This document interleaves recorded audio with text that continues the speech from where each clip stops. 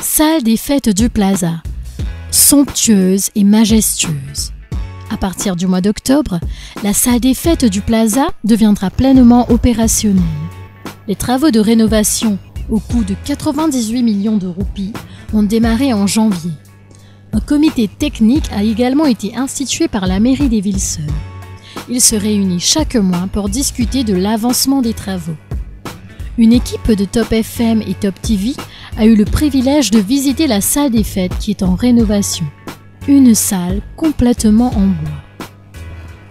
Visite guidée pour notre équipe. C'est le maire, Ken Fong lui-même, qui nous reçoit. Nous avons devant nous un chantier.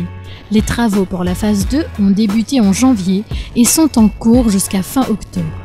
La salle des fêtes ainsi qu'un bloc administratif seront donc opérationnels d'ici fin octobre. Elle pourra accueillir 500 personnes pour fiançailles, mariages et réceptions. La phase 1 consistait à refaire la toiture complètement. Le chef ingénieur Bouchan Ramlol explique. La phase 2, bon, la phase 1 c'est la toiture.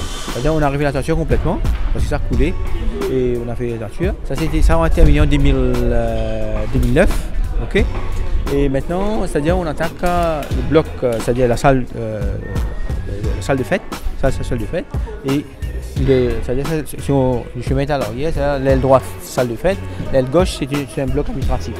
Mais ce bloc administratif, il y avait, il y avait le bureau de, de la municipalité, l'administration dedans. Mais on n'a plus de bureau de maintenant. Ça va être euh, pour d'autres usages. Par le maire vous a dit, il y aura culturel, il y aura par exemple des salles de conférence. En parallèle, deux nouvelles pièces seront aménagées, soit une galerie d'art et une salle de conférence qui servira aussi d'espace aux artistes mauriciens.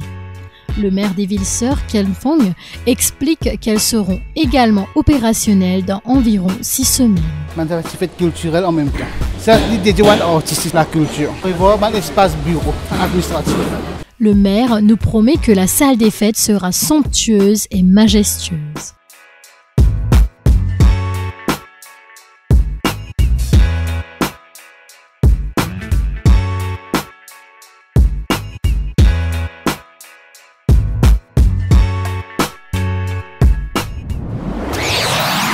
Top TV, news as it happens.